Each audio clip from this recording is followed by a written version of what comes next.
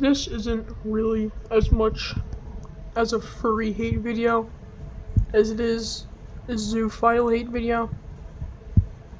There's there's a lot of boundaries in life and a lot of stuff you can and you can't do. And there's a thin there's a there's a thin line. Sometimes it's hard to tell. But if you need someone to tell you that you shouldn't fuck animals, I don't know what you should do with your life, honestly. No no one can help you. You're sick. You're like a freak and you should commit low tier god. I don't think I can say that. I don't think I should like actively tell people to do that. And uh, I'll probably get a warning or a strike for for if I did that. So I'm just I'm not gonna do that. But you understand what I mean when I tell you to go commit low tier god. If you like, there's furries. I understand what they do is a little weird sometimes, but it's just dressing up as an animal in, in its core, to its heart. Like cat girls. Cat girls are fine. They're they're not really furries. They're like they they existed before furries did. Like this example on the screen. We have an anime character, Komi. She's not actually really a cat girl, technically speaking, but we're just gonna pretend that she is. Because I don't like spam watch anime with my life. I do other things. But I do watch anime in some of my free time.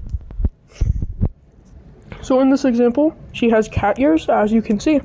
That is cat girl. That is not furry. That is that's far away from furry. Or just anything like that. At all, really. But for some reason, people nowadays seem to think that that is bad, even though it's not. Furries themselves aren't really bad, they're just kind of weird.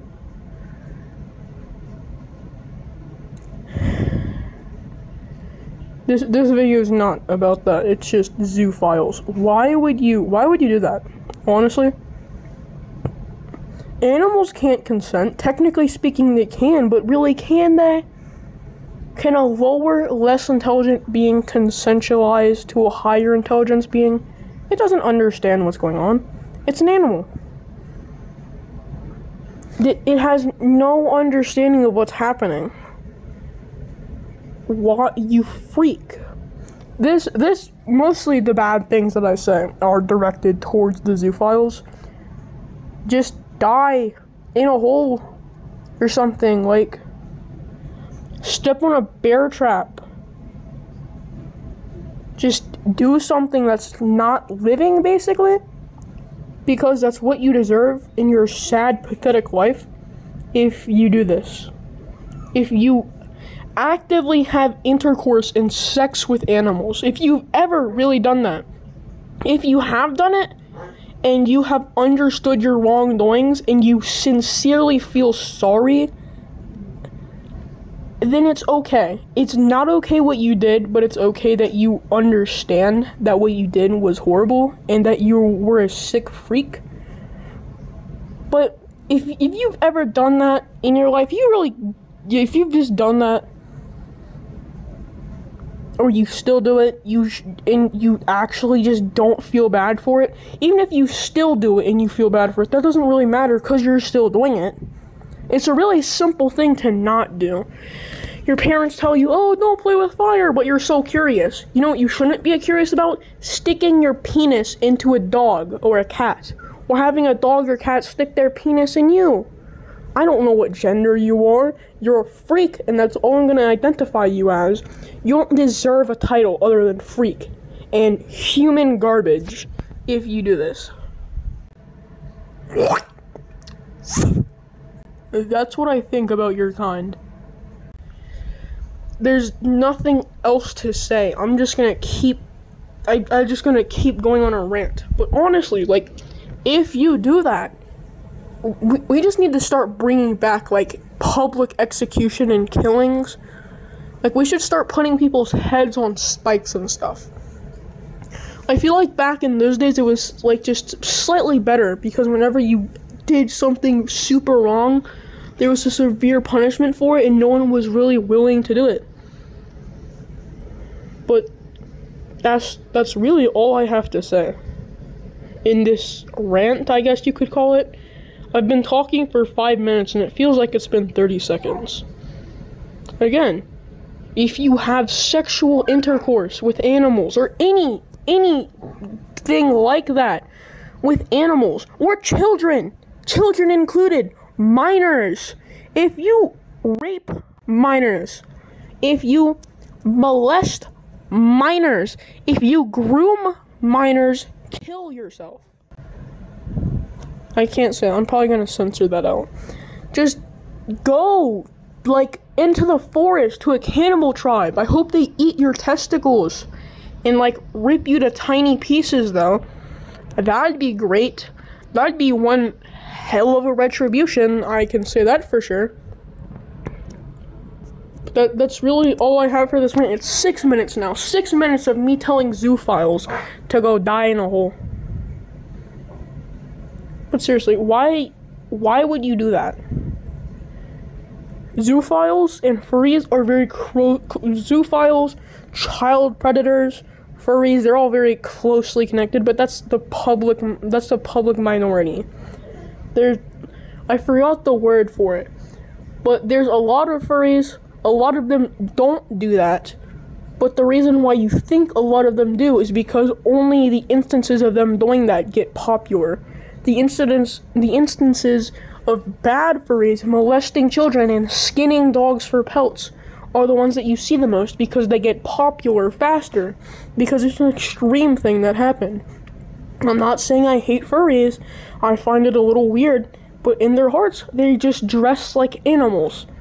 But if you decide that you kind of want to be an animal and you bark at people, that's a little weird. But if you decide you want to be an animal, you want to have intercourse with an animal or children or anything like that because you think that it's okay. Just know it's not okay. And you should honestly just put yourself out of your own misery. You're probably too broke and fat and alone to afford a heavy duty rope to from you to from you to hang on.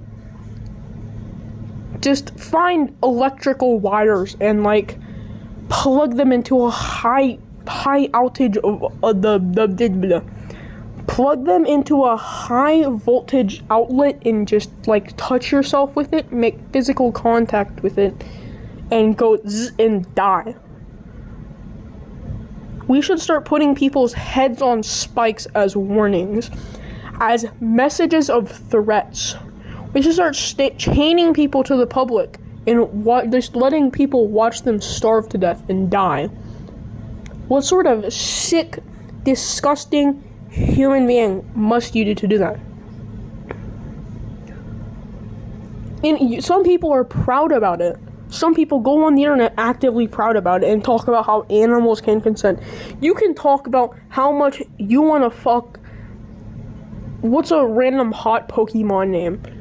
Gardevoir. I, I don't know. I'm not Vaporeon. I could care less. You want to know why? Because it's fictional and you never will.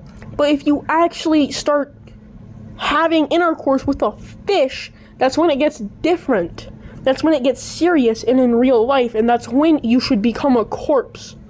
That's when you should. I am in your walls, breathing through your vents. I'm eating the rats that live in your wall. Yes, there's probably rats in your wall. I wouldn't doubt it. Just know that you are a sick human being. I'm not atheist, but I don't follow a god. And I hope that there's a heaven and a hell. And I hope you get brutally molested by clowns all day. And I hope you don't enjoy it. You probably would enjoy it, but I just hope you don't for the sincere fact that you deserve suffering and pain. I hope everyone you ever care about gets gets not alive anymore directly in front of your eyes. I hope the next time you eat something spicy, you snort it and you it hurts.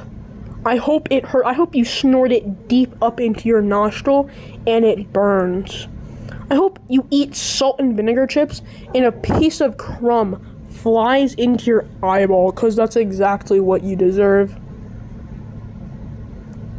Any, you, no one loves you, and if anyone actually does love you, they're probably just another sick human being, sick freak like you, that deserves to die, or they don't know what you do. And for those people, I, I truly feel sorry for, and I feel sorry for the animals that you've ever been around in your life. That's. I said I was gonna stop talking five minutes ago. But th- this is the end. Just know that you should, like. Just. Just hang on a rope or something, like, honestly. And that's that's all you deserve in your sad, pathetic, miserable life.